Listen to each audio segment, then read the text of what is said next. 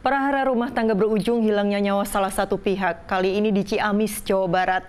Seorang wanita tewas di tangan suaminya bahkan dengan kondisi termutilasi. Astagfirullahaladzim. Ah. Langsung terkejut begitu salah satu warga melihat adanya potongan tubuh manusia. Beberapa bagian tercecer di tengah jalan. Yang lebih mencengangkan, warga melihat langsung tetangga mereka berinisial T yang membawa jasad korban sembari memegang pisau.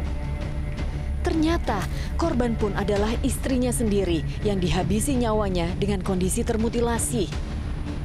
Bahkan mirisnya lagi, pria 48 tahun itu sempat membawa tubuh korban keliling kampung hingga akhirnya warga mengamankan pelaku.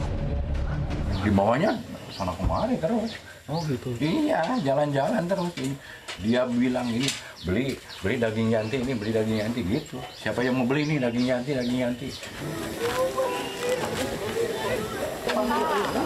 Ya, hati anak mana tak hancur mendapati sang ibunda kini sudah tiada. Kepergiannya pun bahkan menimbulkan trauma bagi anak yang beranjak remaja. Polisi lantas segera melakukan olah TKP di Kampung Sindang Jaya, Kabupaten Ciamis, Jawa Barat, begitu mendapat laporan adanya tindak pidana pembunuhan. Sampai saat ini, motif pembunuhan masih didalami polisi. Barusan selesai pelaksanaan olah TKP. Kondisi korban seperti apa, Pak? Ya, jadi kondisi korban meninggal dunia termutilasi beberapa bagian. Pelakunya? Pelakunya diduga suami korban sendiri. Di lokasi kejadian, polisi turut mengamankan balok kayu dan senjata tajam. Sementara jasad korban berada di rumah sakit untuk menjalani otopsi. Polisi juga memeriksa kejiwaan suami korban untuk melengkapi proses pemeriksaan.